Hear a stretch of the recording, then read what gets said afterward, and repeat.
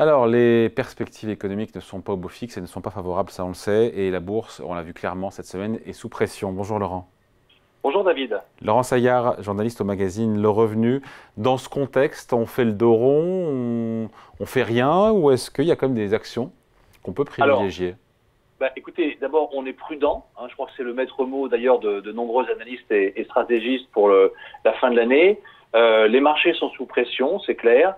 Euh, ce resserrement monétaire, euh, il fait sentir ses effets maintenant. Hein. on a des taux d'intérêt élevés. Tout ça est amplifié par le durcissement des conditions de crédit.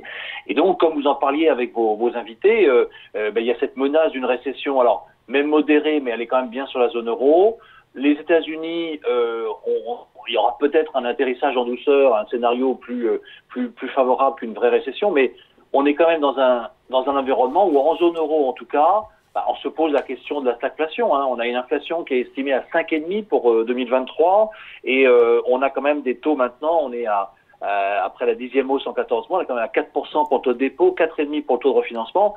Euh, l'idée, c'est que vraiment, en tout cas, c'est l'idée de la BCE, elle veut chercher à garder mm. l'inflation euh, sous contrôle. OK pour la, le contexte et l'environnement macro-financier, macroéconomique, mais jean pardon, je reviens à ma question. Quelles conséquences pour ceux qui ont des portefeuilles d'actions?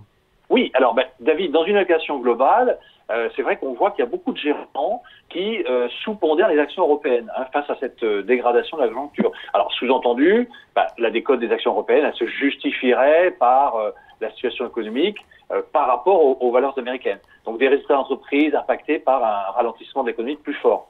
Alors c'est vrai que dans ce genre de contexte, bon, souvent les grandes valeurs défensives euh, ont la préférence des investisseurs. On voit revenir à ce moment-là bon, les secteurs de la santé, les biens de consommation de base, l'alimentaire, euh, les services de collectivité, le logiciel.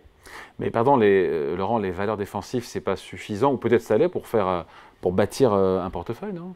Non, non, c'est effectivement juste une, une première base. C'est clair qu'en période d'inflation forte, on revient toujours à cette idée que ce qu'il faut avoir en portefeuille, c'est des sociétés qui ont une capacité à répercuter les hausses de prix sur le consommateur. Donc c'est le fameux pricing power.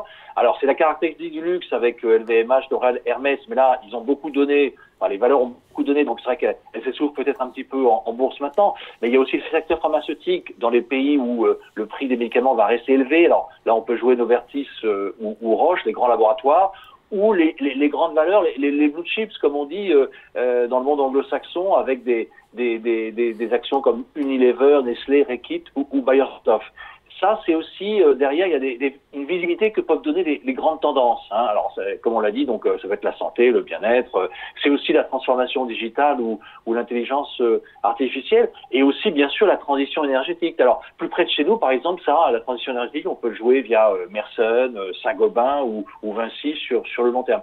Mais au fond, en fait, en complément de tout ça, on voit qu'il y a une préférence sur les marchés, en tout cas, pour une croissance de qualité. Hein, c'est ça qui est, et on l'a vu en tout cas au cours des derniers mois. Donc des sociétés qui ont des bilans solides, des marges stables, de la visibilité sur, le cash flow. Alors moi je rajouterais aussi, bon, sans oublier le secteur des banques avec un petit clin d'œil parce que euh, en fait en réalité elle bénéficie de la remontée des taux d'intérêt. Et puis euh, et aussi autre petit clin d'œil, bah, si on veut jouer sur la, si on veut miser pardon sur la, la demande de pétrole, on peut le faire via euh, des valeurs comme GTT, Valourec ou Française de l'énergie dans la cote française. Laurence, qui a beaucoup tiré les marchés boursiers américains, c'est évidemment l'intelligence artificielle et euh, je crois que c'est 5 ou 7 valeurs qui font 80 ou 90% de la hausse du, du Nasdaq et, et, du S&P. On est allé trop loin sur ces valeurs-là? Ben, En tout cas, David, euh, maintenant, il va falloir être plus sélectif. Alors, les 7 magnifiques, effectivement, comme on les appelle aux États-Unis, euh, elles ont alors toujours la cote, même si la commence. C'est qui Rappelez-nous les 7 magnifiques. Alors, c'est, alors, il y a Amazon, il y a, il y a Meta Platforms, donc c'est l'ex-Facebook, Nvidia, Microsoft, Apple, Alphabet, Google, et puis Tesla. Voilà. Donc ça, ces valeurs-là, elles trustent effectivement un peu les indices américains. C'est l'essentiel de la performance de Wall Street depuis le début de l'année. Hein. Si vous prenez les chiffres, à, alors prenons fin de mois, donc disons fin août, euh, bah, vous aviez à peu près 60% de la hausse depuis le début de l'année qui était réalisée par cette valeur. Vous regardez le reste du S&P, 500 c'est quand même pas rien parce que 500 moins 7 ça fait 493. Elles font entre 0 et 4%. Euh, voilà, donc là il y a vraiment un, gros écart, euh, un, effet trompe-l'œil. Hein. Alors et là on retrouve dans ces tendances bah, notamment euh, ce qui excite beaucoup les investisseurs, c'est-à-dire le cloud, l'intelligence artificielle, etc. Tout ce qui permet d'optimiser en fait des, processus. Et on retrouve effectivement la croissance euh, bénéficiaire des, des Amazon, Microsoft, euh, Apple avec un petit un petit repli parce que bon, il ça reste une valeur de qualité, mais bon, il y a des freins récents sur, la commercialisation. Mais et puis bon, bien sûr, des, Nvidia qui sont les, nouveaux, euh, euh les nouvelles vedettes, ou, encore AMD, euh, Nvidia notamment pour l'intelligence artificielle ou AMD, pardon, pour les, les semi-conducteurs. On peut pas acheter uniquement sur les cinq grandes, hein, les cinq GAFAM. Donc, donc faut, faut aller aussi sur ceux qui émergent avec ce débat Nvidia, est-ce que c'est trop cher ou est-ce qu'il y a encore du potentiel vu les, les fabuleuses, euh, fabuleux multiples et fabuleuses perspectives de croissance qu'il y a dans cette société euh, euh bon, En tout cas, c'est un secteur qui, qui, a du pricing power. Voilà. Là-dedans, il y a de l'abonnement, du confort, de la productivité, de l'efficacité, euh, du plaisir. Donc ça devrait continuer à marcher. Dans les portefeuilles qui ont bien performé, il y a des valeurs incontournables, préférées, ou en tout cas qui ont les préférences du magazine de revenus? Alors oui, et là, et là euh, effectivement, ben, on pourrait citer euh, Novo Nordisk, qui est le, laboratoire euh, pharmaceutique danois. c'est l'un des plus avancés dans le traitement de l'obésité.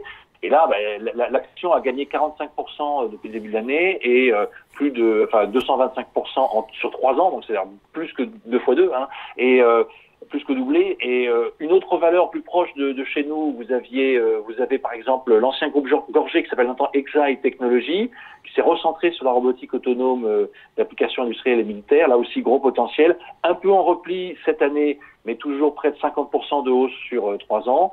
Ou encore Ligne 2, valeur allemande, spécialisée dans les gaz industriels, qui bénéficie du soutien américain sur les énergies renouvelables et la décarbonation des processus industriels. Là aussi, euh, plus 6% plus début d'année et euh, plus 75% de hausse pour l'action sur, euh, sur les trois dernières années. Bon, Laurent, au-delà de cette shortlist, euh, quelle conclusion on tire de tout ça?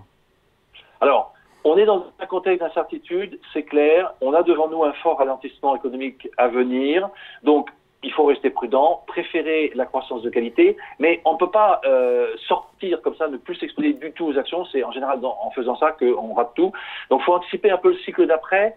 Peut-être, alors avec un an d'avance, hein, euh, au moins, euh, la baisse des taux d'intérêt qui pourrait intervenir fin 2024 ou courant en 2025. Mais voilà, pour ceux qui savent se positionner très en amont, mais sur les quelques valeurs que nous avons pu évoquer ensemble, il y a des positions à garder, en tout cas pour l'avenir. Allez, merci beaucoup. Avant de se quitter, on regarde la couverture, la une du revenu hebdo. Oui, alors, outre, euh, outre ce dossier, euh, donc on revient un petit peu sur bon, l'ambiance de marché dont on parlait, euh, la situation à la fois monétaire et puis économique aux États-Unis, et on revient sur quelques valeurs emblématiques, un peu plus, en les passant un peu plus à la loupe, Netflix, Engie, ou les valeurs comme Stellantis que nous avions recommandées, qui depuis un an a gagné 43%. Voilà, il faut parfois suivre les conseils du magazine Le Revenu.